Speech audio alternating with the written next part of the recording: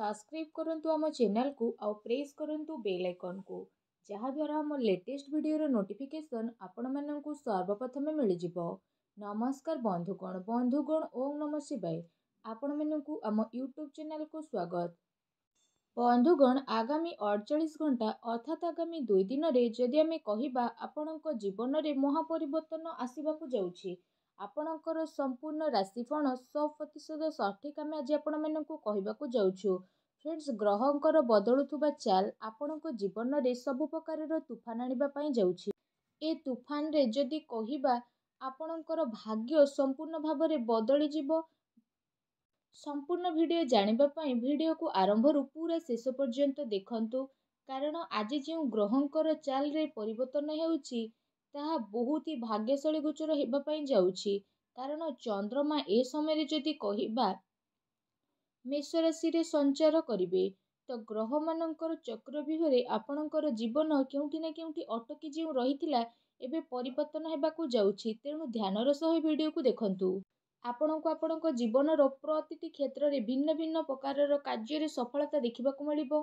ଜାଣିବା ଏ ଅଡ଼ଚାଳିଶ ଘଣ୍ଟାରେ ଆପଣଙ୍କର ସ୍ୱାସ୍ଥ୍ୟ କିପରି ରହିବ ଚାକିରିର ସ୍ଥିତି କିପରି ରହିବ ବ୍ୟାପାର ବାଣିଜ୍ୟ କିପରି ରହିବ ଆର୍ଥିକ କିପରି ରହିବ ସବୁଠାରୁ ପ୍ରଥମ ଆପଣଙ୍କର ଶରୀର କିପରି ରହିବ ସବୁକିଛି ପୁରା ପ୍ରଥମରୁ ଶେଷ ପର୍ଯ୍ୟନ୍ତ ଆଜି ଆମେ ଆପଣମାନଙ୍କୁ କହିବୁ କିଛି ସାବଧାନତା ଆପଣଙ୍କ ପାଇଁ ରହିଛି ତେଣୁ ତାକୁ ଦେଖିବା ପାଇଁ ବି ଆଜି ଆଦୌ ବି ଭୁଲନ୍ତୁ ନାହିଁ।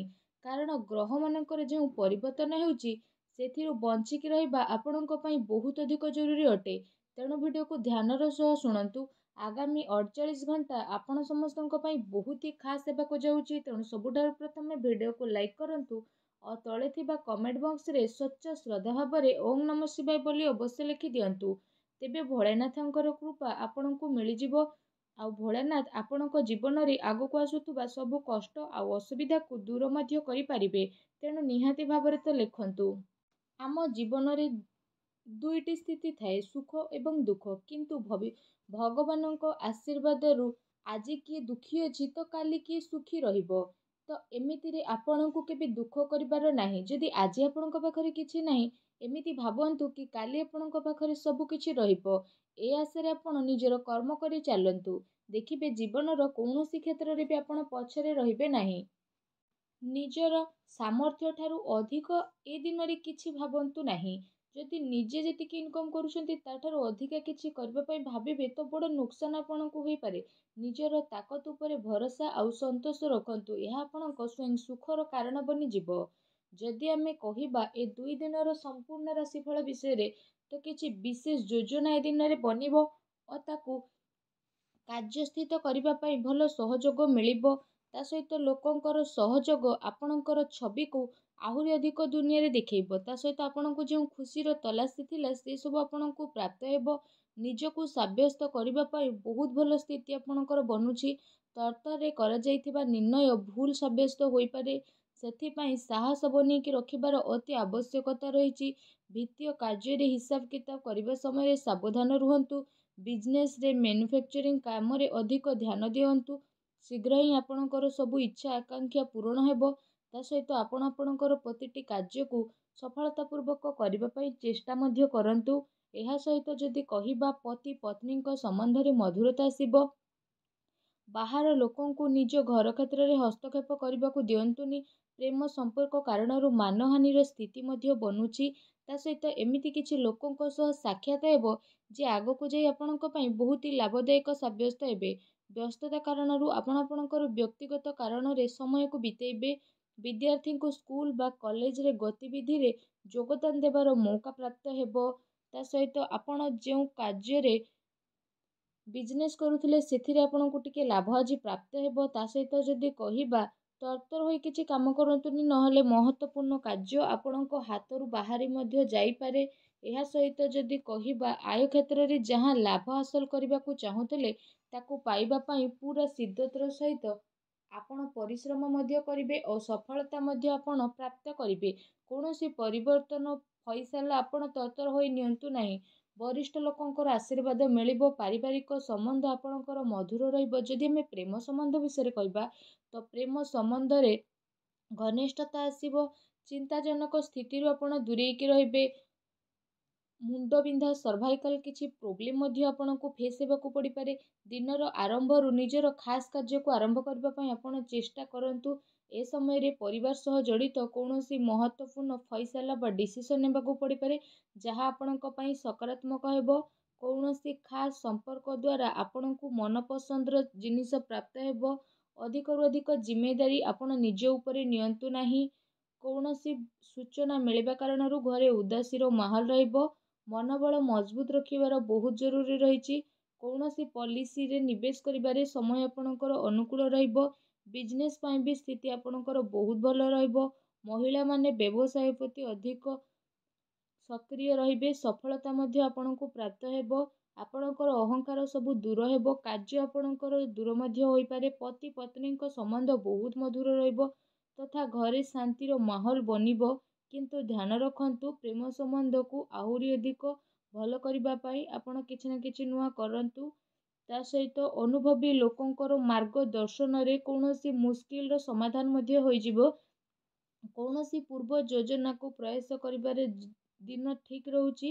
ଘରର ବୃଦ୍ଧ ଲୋକଙ୍କର ଆଶୀର୍ବାଦ ସହଯୋଗ ପ୍ରାପ୍ତ ହେବ। ନିଜ ବ୍ୟକ୍ତିଗତ କାର୍ଯ୍ୟକୁ ନଜରଅନ୍ଦାଜ କରି ଅନ୍ୟକୁ ସାହାଯ୍ୟ ସହଯୋଗ କରନ୍ତୁ। ଯାହାର ନକାରାତ୍ମକ ପ୍ରଭାବ ଆପଣଙ୍କ କାର୍ଯ୍ୟ ଉପରେ ପଡ଼ିପାରେ ଏ ସମୟରେ କୌଣସି ପ୍ରକାରର ବାଦବିବାଦ ଠାରୁ ଦୂରେଇ ରୁହନ୍ତୁ।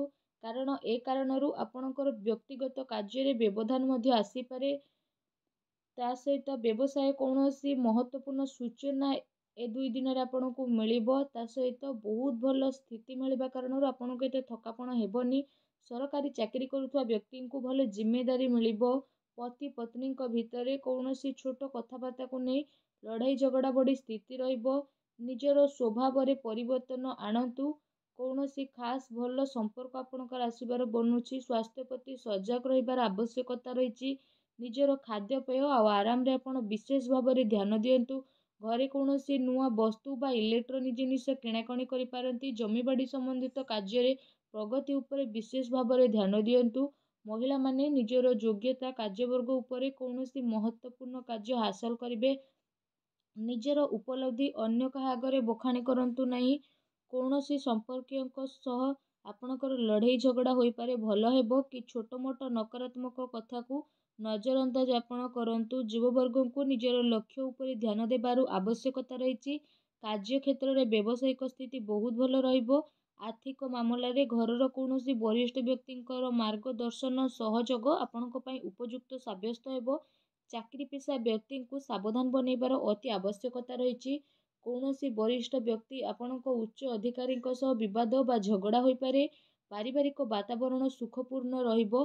ପତି ପତ୍ନୀ ଜଣେ ଆଉ ଜଣଙ୍କର ଭାବନାକୁ ସମାନ ବନେଇକି ରଖିବେ। ପ୍ରେମ ଆଉ ରୋମାନ୍ସରେ ସମ୍ପର୍କ ଘନିଷ୍ଠ ହେବ। ଅନିୟମିତ ଖାଦ୍ୟପେୟ କାରଣରୁ ଲିଭର ସମ୍ବନ୍ଧିତ ସମସ୍ୟା ଆପଣଙ୍କର ଉତ୍ପନ୍ନ ହୋଇପାରେ। ଆପଣ ଘର ସମ୍ବନ୍ଧିତ ନିଜର ଜିମେଦାରୀକୁ ବହୁତ ସମଝତାର ସହ ନିଭେଇବେ। ତା ସହିତ ମିଡ଼ିଆ ତଥା ବା ସମ୍ପର୍କ ସୂତ୍ର ଦ୍ୱାରା ଏମିତି କିଛି ଜାନକାରୀ ଆପଣଙ୍କୁ ପ୍ରାପ୍ତ ହେବ? ଯେଉଁ କାରଣ ପାଇଁ ଆପଣଙ୍କର କାର୍ଯ୍ୟ ଆସାନ ହେବ। ମହିଳାମାନେ ନିଜର ଘରୋଇ ତଥା ବ୍ୟବସାୟିକ କାର୍ଯ୍ୟକୁ ସହଜ ସରଳରେ ପୂରା ମଧ୍ୟ କରିବେ।